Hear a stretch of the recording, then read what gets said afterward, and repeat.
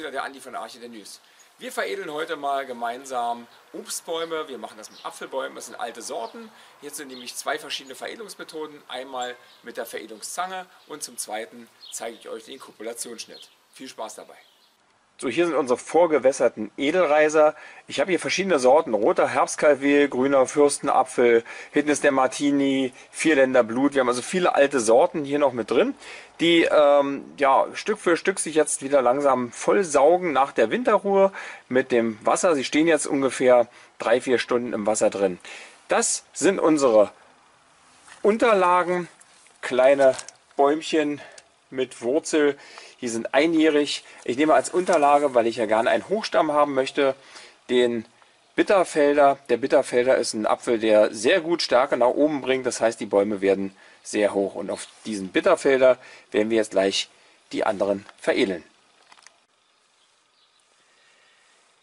Wir haben jetzt hier zwei Reiser, zwei Edelreiser von Apfel Vierländer Blut und ich habe hier mal einfach als Unterlage eben drei verschiedene kleine Apfelbäumchen genommen. Wir müssen jetzt schauen, dass wir einen Reis finden, was ungefähr die Stärke hat, wie auch das kleine Bäumchen. Ich habe also hier einen genommen, man sieht, der passt ganz gut von der Stärke her, wie die Unterlage ist. Die beiden würde ich jetzt zusammen veredeln. Und hier ist ein etwas dickerer, den könnte man weiter oben nochmal veredeln. Hier muss man sich auch beeilen, denn der fängt langsam an zu treiben. Ähm, hier würde ich auch die oberen Spitzen schon nehmen, die mehr Saft und mehr Kraft haben. Aber der ist etwas dicker, also würde ich hier eher zu dem etwas kräftigeren Bäumchen neigen.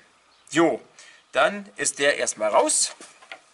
Dann nehmen wir die beiden und hier zeige ich euch zwei verschiedene Veredelungs- Methoden. Ich veredle gerne auf der anderen Seite der kleinen Knospe, weil da wo die Knospe ist, an dieser Stelle hat der Baum ganz viel Kraft und hat vor allen Dingen alle genetischen Substanzen, die sagen, hier muss ganz schnell was wachsen im Frühjahr. Dementsprechend habe ich gerne auf der einen Seite die Knospe von dem Edelreis und auf der anderen Seite irgendwo so ein kleines Auge von der Unterlage. Das heißt, ich würde die beiden jetzt versuchen, so rum zu veredeln. Da, wo es eher passt, hier ist er etwas schlanker, dementsprechend würde ich mir diese Ecke nehmen.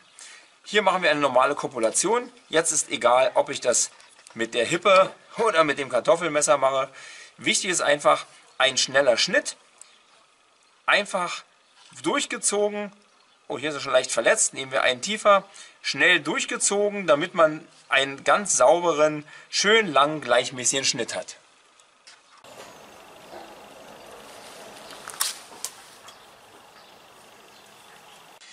Wichtig ist jetzt auf diese geschnittene Unterlage nicht mehr anfassen. Dieser kleine Bereich hier ganz außen, dieser kleine grüne Bereich, das ist das einzige, was zusammenwächst. Dieser Bereich nennt sich Cambium. Das Verholzte in der Mitte, das wird niemals zusammenwachsen, nur der kleine äußere Bereich. Dementsprechend ist wichtig, dass wir jetzt einen Bereich finden, der genauso breit ist wie hier, genauso geschnitten ist und der dann dort ebenso genauso raufpasst. Ich versuche es mal mit dem Reis auf der anderen Seite von unserem Auge hier. So, zweimal nachgeschnitten. Ich nehme mal die Hippe, die ist etwas schärfer. So, hier sieht man auch wesentlich mehr Grün. Der ist etwas jünger noch. Passen mal aufeinander. Ah, das sieht gar nicht so schlecht aus. So.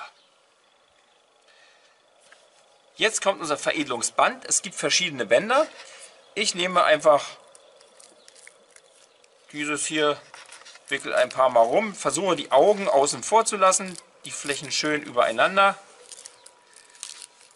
So. Und jetzt wird kräftig gewickelt damit diese Flächen auch gut zusammenpassen. Es gibt auch Veredelungsgummis. Ich nehme immer gerne das Veredelungsband. Ich habe schon Leute gesehen, die haben das mit normalem ja, Klebeband gemacht. Das funktioniert genauso. Und diese Stelle soll jetzt ein paar Wochen einfach schön aufeinander gepappt sein und dann sehen wir, ob oben das Äpfelchen austreibt. So. So. Wir haben jetzt diese Stelle schön fest umwickelt. Fest ist das ebenfalls wichtig, damit die beiden Cambiumseiten aufeinander sitzen, sich in Ruhe miteinander vereinen können. Dieser kleine Reis wird jetzt äh, mit seinem Bäumchen, mit der Unterlage zusammen erstmal in einen Topf gepflanzt, weil wir nämlich draußen noch Frost haben und dann später landet er im Garten und kann dann dort wachsen und wachsen und gedeihen. Bei unserem etwas stärkeren Bäumchen zeige ich euch jetzt mal die Veredelungszange. Hier nehme ich erstmal unsere normale Gartenschere, weil der ist so schön lang. Hier mache ich einfach nochmal zwei draus. Es reicht aus, dass ja, vier, fünf Augen ungefähr lässt man dran.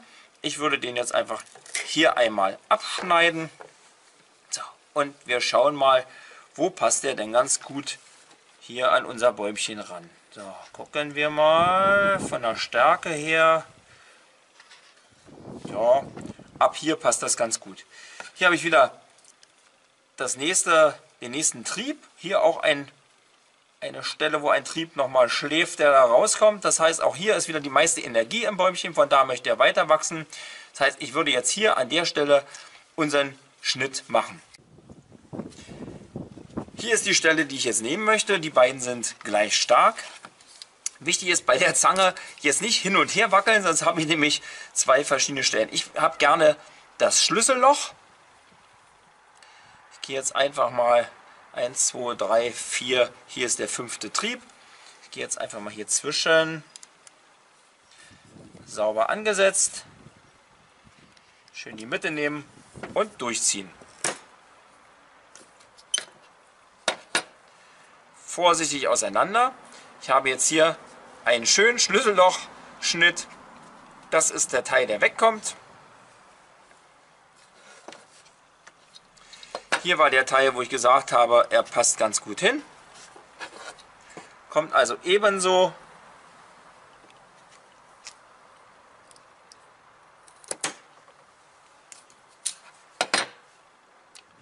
sauberes Schlüsselloch, das Teil verschwindet und der passt genau eins zu eins in das Bäumchen hinein. So, und so. es ist schon fast, fast perfekt. Wir müssen jetzt eben nur sehen, dass auch hier das Cambium außen verwächst, also auch der wird gewickelt und danach erstmal noch eingepflanzt, weil wir noch Nachtfröste haben und später landet er dann im Beet. Auch unser kleines Schlüsselloch wird jetzt ganz kräftig umwickelt, damit das Edelreis auf der Unterlage nicht hin und her wackelt. Ganz wichtig, die müssen Ruhe haben, die müssen Zeit haben, sich zu vereinen und die Zeit geben wir ihnen. Das Edelreis ist jetzt auf der Unterlage drauf. Wir haben hier wunderbar unser Veredelungsband, um die Stelle festzumachen. Viele nehmen jetzt hier vorne einen Wundbalsam, das gibt es von vielen Firmen. Hier vorne ein kleiner Punkt drauf um unsere Schnittstelle, unsere Wunde zu verbinden. Das wird jetzt schön fest und soll verhindern, dass Pilze oder andere eben Erreger in die Wunde gelangen. Allerdings mache ich das normalerweise nicht. Ich habe euch das jetzt nur gezeigt, damit ihr mal seht, wie es funktioniert. Viele nehmen das Wundbalsam auch noch hier rüber, damit eben da kein Pilz eindringen kann. Inzwischen sagen die meisten Experten, lässt man das denn der Baum hat alleine genug Energie, dass er hier das umwallen kann, wie man das nennt. Und wenn ich das verschließe, dann kann er das nicht mehr so gut. Viele lassen es einfach offen, denn die Gefahr des Pilzes ist nicht so gegeben. Aber da, wie immer im Leben, streiten sich die Experten. So, hier sehen wir jetzt von der Sache her das fertige Produkt. Wir haben ja veredelt, wir haben das gestern Abend gemacht, haben dann schnell die Töpfe fertig gemacht und haben dann jetzt euch einmal kurz hingestellt. Ich habe hier acht verschiedene Sorten. Hier ist das Vierländer Blut, der Grundhofer Streifling, Krüger Stickstiel, Lausitzer Nelkenapfel, der Martini, der Ontario, roter Herbstkalvé und der gelbe Richard. Das sind die acht Sorten, die wir jetzt haben. Wir haben noch einige andere veredelt. Wir haben tolle Edelreiser von, von anderen Freunden äh, bekommen, die sich mit alten Sorten beschäftigen und wir hoffen mal, dass die jetzt anwachsen. Sobald die Frostperiode vorbei ist, gehen die auch direkt in die Erde, um dann etwas besser mit den Wurzelbeinen sich ausbreiten zu können. Ja, und wir hoffen mal, es sind ja auf Bitterfelder Sämling veredelte Äpfel, dass die vielleicht in vier, fünf Jahren die ersten Äpfelchen bringen. Ich hoffe, es hat euch gefallen Und wie immer, bleibt knackig. Ich wünsche euch noch alles Gute. Denkt an die Äpfel. Ciao, der Andi von der Arche der Nüs.